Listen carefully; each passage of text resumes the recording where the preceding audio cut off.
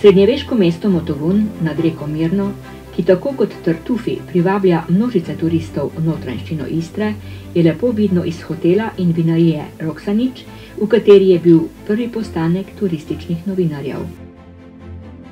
Dobrodošlico nam je o prihodu izrekel Stefan Mrakovič in predstavil vinarsko tradicijo družine, ki je ponudbo nadgradila s prenočišči in izborom številnih vin. Dobrodošli u podrum Rožanić.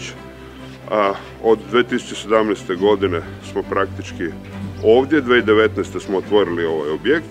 Ispod nas dole se nalazi podrum koji ima pet katova ovaj, i gdje se praktički odvijaju svi nama najbitniji procesi u, u našem životu i životu ove vinarije, a u ovom dijelu zgrade koju vidite iza nas, to je u biti originalni podrum koji je napravljen za vrijeme Austro-Ugarske.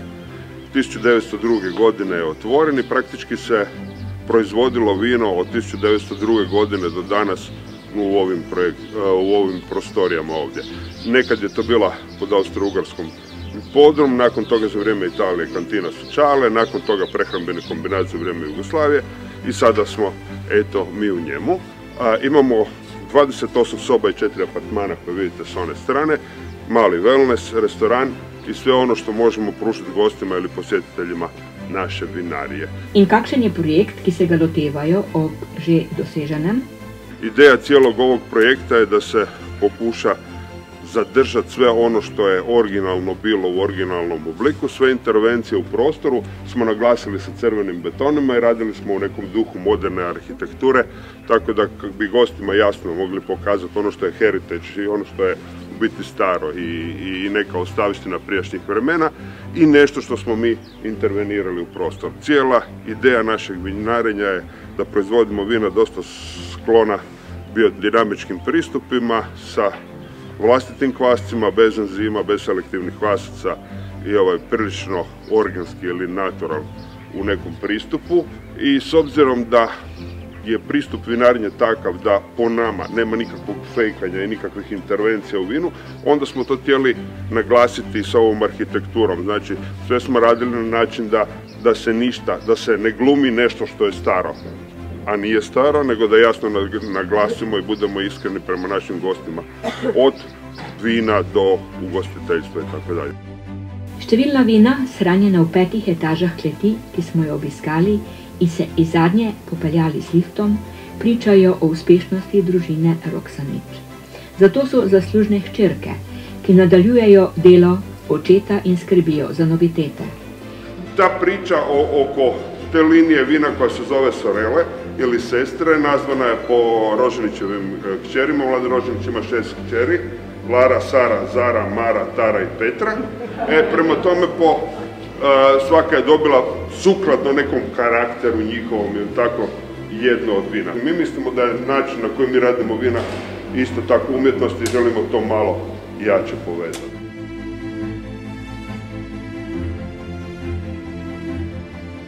Med zanimivostmi sodijo amfore z vinom, ki so posebnost ponudbe in imajo visoko ceno, tako kot prenočišča za petičneže. Ob prihodu na dvorišče ponudnika tartufov in drugih istrskih specialitet, znanih pod blagovno znamko Miro Tartufi, sta nas poleg pasjega laježa, iskalcev črnih in belih istrskih biserov, pričakala zgovorna Mirjana, ter šilce domačega za ogretje v hladnem pomladnem dnevu. Znači, mi smo van Miro Tartufi, moj muž Miro i ja Mirjana. Imamo malu obiteljsku firmu već 31 godinu. Se bavimo s tartufima, ali nismo postali veliki. Tako, jer nam je lijepo raditi ovako kako radimo. Znači, organiziramo lov na trtufe, degustacije, imamo paletu proizvoda, e, svoje proizvode prodajemo u našoj trgovini u Motovunu i u nekim drugim trgovinama po Istri i u nekim restoranima i hotelima, ali ne jako puno. Vsekakor je bilo zanimivo spremljati kuhanje in mešanje fritaje ali frtaje, katero je Mirjana Kotiga umešala 50 jajc, zalila vodo in dodala parmezan ter naribala tartufe.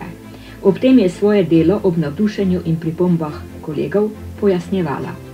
Vjerujem da ste mnogi od vas jeli tartufe u raznim restoranima i zapravo kako je gastronomija u zadnjih par godina pokušava ići na mjesec, tako je postalo jako popularno da se tartufi jedu sirovi. I ja prihvaćam to i to je ok, ali imam jednu svoju tvrdnju i mnogi šefovi iz cijelog svijeta su se složili s time da je tartuf pogotovo crni puno bolji i intenzivnijeg okusa i mirisa kad se vrlo kratko termički obradi.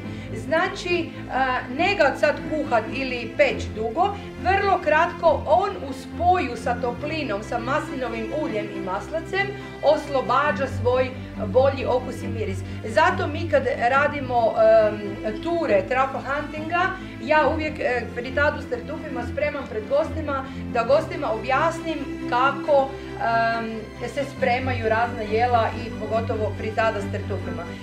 Prvo ću staviti maslinovo ulje i onda maslac i onda dalje. Onda ću naribat malo, malo deblje kao da ribam jabuku. Sada znači e, tartufi na tanke fetice s ovim posebnim nožem. I to je bijeli? Za tartuf, ne, nego je ovo crni, ali kako je tek početak sezone, e, na početku sezone su vam svi crni tartufi, unutra dosta bijeli. E, sada ću u ovu tartufatu staviti salse, u ovu fritadu staviti salse da vidite kako se to radi.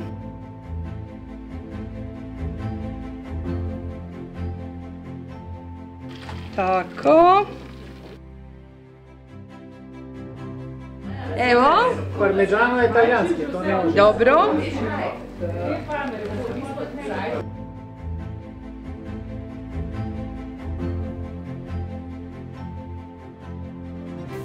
Krožnik za najbolj okusno fritajo, ki sem jo kdajkoli jedla, je bil po uvodnih ponujenih namazih z domačim kruhom izjemen, kakor tudi sletica statufi, ki je sledila.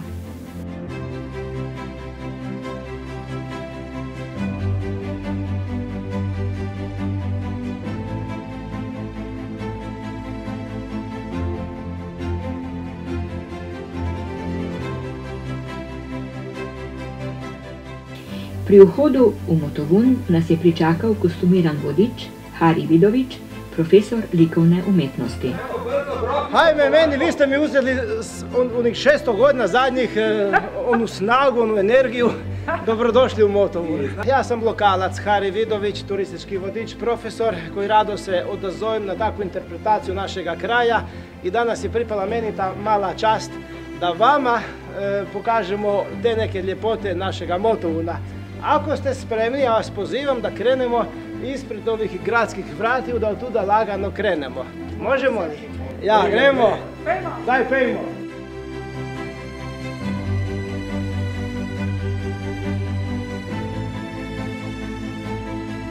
Znači, kamene su to ulice, stare kamene zidine, takvih zidina ima i ostatak iste, to dobro znamo. Ali Motovun se nekako iskristalizirao da je to jedna destinacija koja voli pokazati ljepotu svoga kraja, a zamislite tu ljepotu kraja kad ne možete biti na moru u Poreću u Rovinju kad je grdo vrijeme kišno. Na šta onda Motovun svih poziva, dođite, dođite, tako. Danas imamo priliku i čast da uživamo da nam je praktički Motovun kao samo za nas. Znači, Motovun je jedno središte nama dobro znano od 13. stoljeća, kao utvrda, kao gradina koja je pokazala i tekako veliku važnost. Znamo da su prije ovi Germani, znači gorički grofovi, akvileski patrijarci stalno stolovali ovdje. Moton je pripadao njima, ali Moton je težio jednoj upravi, jednoj slobodi, tim više kad su se sa svih strana ovi pokazali kao ratnici i Moton se nalazi uvijek negdje između tih linija. Moton je sam zatražio da dođe pod Mletačkom republikom. ja sam upravo jedna personifikacija jednog dužnosnika mlečkog e, plemića, kako god, koji može na nekakav drugačiji način ispričati ovu priču. Prema tome, krajem 13. stoljeća Motvun je sam išao toj Veneciji, tek onda se nekako stabiliziralo i krenuo je cvat Motovu. Nagradile su se stare, zidine na starim zidinama. Obnavljao se sve do kraja 18. stoljeća sa nekoliko pojasa zidina. Ovdje vidite jednu malo manju zidinu, dok je najviša zidina, najstarija, od 9 do 15 metara visine. Ako krenete onom ulicom koju nazivamo Borgo, moći ćete i vidjeti jednu impozantnu staru kuću, a to je David malo prije spomenuo, to je kuća slavnoga formulaša, Formula 1 Indianapolis, Mario Andretti. Motovun je znan tudi po filmskem festivalu. Njegov simbolni kolut pa je eden od mestnih grbov ob stopu v trbu na vrhu griča z izjemnim pogledom.